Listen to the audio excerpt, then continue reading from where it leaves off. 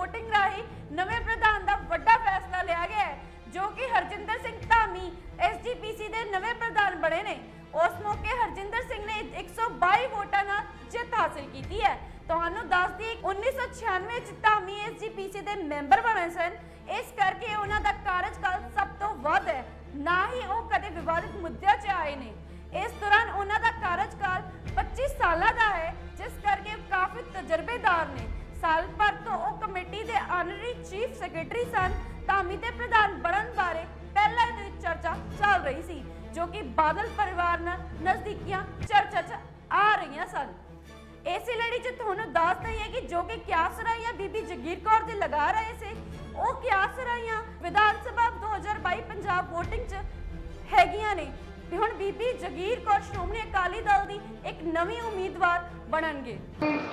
ਜਥੇਦਾਰ ਸਾਹਿਬ ਜੀ ਨੂੰ ਸ਼੍ਰੋਮਣੀ ਗੁਰਦੁਆਰਾ ਪ੍ਰਬੰਧਕ ਕਮੇਟੀ ਦੇ ਪ੍ਰਧਾਨ ਵਜੋਂ ਐਲਾਨ ਕੀਤਾ ਗਿਆ ਹੈ। ਬੋਲੇ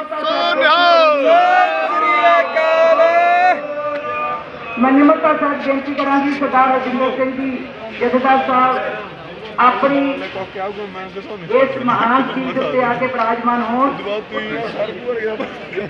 ਵਿਰਾਜਮਾਨ ਹੋਣ ਤੇ ਅਗਲੀ ਕਾਰਵਾਈ ਜਿਹੜੀ ਹੈ, ਉਹ ਕਰਵਾਉਣ ਬਹੁਤ ਵਧਾਈਆਂ ਜੀ। ਸਰਦਾਰ ਰਜਿੰਦਰ ਸਿੰਘ ਜੀ, ਜਥੇਦਾਰ ਸਾਹਿਬ, ਤੁਹਾਨੂੰ ਬਹੁਤ ਬਹੁਤ ਵਧਾਈ ਹੋਵੇ ਤੇ ਕਿਰਪਾ ਕਰੇ। ਤੁਹਾਡੇ ਤਜਰਬੇ ਦਾ, ਤੁਹਾਡੇ ਗਿਆਨ ਦਾ, ਤੁਹਾਡੀ ਹਾਰਡ ਵਰਕਿੰਗ ਦਾ, ਆਉਣ ਵਾਲੇ ਸਮੇਂ ਵਿੱਚ ਕਾਫੀ ਲੱਗਣਾ ਆਪਣੀ ਸੇਵਾ ਨਿਭਾਉਂਦੇ ਮਾਨਯੋਗ ਸਰਦਾਰ ਸਿੰਘ ਜੀ ਪ੍ਰਧਾਨ ਸ਼੍ਰੋਮਣੀ ਸਾਹਿਬ ਵਿਖੇ ਬਹੁਤ ਸਾਰੀਆਂ ਸੇਵਾਵਾਂ ਨਿਭਾਈਆਂ। ਮੈਂਬਰ ਸਾਹਿਬਾਨ ਲੰਬਾ ਸਮਾਂ ਸਾਡੀ ਸੇਵਾ ਕਰਦੇ ਰਹੇ। ਇਹਨਾਂ ਦੇ ਸਬੰਧ ਵਿੱਚ ਜੋ ਮਤਾ ਲਿਆਂਦਾ ਹੈ, ਮੈਂ ਜਿੱਥੇ ਗੁਰੂ ਦੇ ਚਰਨਾਂ ਵਿੱਚ ਅਰਦਾਸ ਕਰਦੀ ਹਾਂ ਕਿ ਇਹਨਾਂ ਸਾਰੀਆਂ ਸ਼ਖਸੀਅਤਾਂ ਨੂੰ ਸਾਰਿਆਂ ਵੱਲੋਂ ਸ਼ਰਧਾ ਦੇ ਸਤਿਕਾਰ ਭੇਟ ਕਰਦੀ ਹਾਂ। ਅਕਾਲ ਪੁਰਖ ਅੱਗੇ ਅਰਦਾਸ ਕਰਦੀ ਹਾਂ ਕਿ ਉਹ ਵਿਛੜੀਆਂ ਰੂਹਾਂ ਨੂੰ ਆਪਣੇ ਚਰਨਾਂ ਵਿੱਚ ਨਿਵਾਸ ਦੇਣ, ਪਿੱਛੇ ਪਰਿਵਾਰਾਂ ਨੂੰ ਭਾਣਾ ਮੰਨਣ ਦਾ ਬਲ ਬਖਸ਼ ਕਰਨ। ਫਿਲਹਾਲ ਹੋਰ ਇਸ ਤਰ੍ਹਾਂ ਦੀ ਅਪਡੇਟ ਲਈ ਬਣੇ ਰਹੋ ਚੱਕ ਦੇ ਟੀਵੀ ਦੇ ਨਾਲ।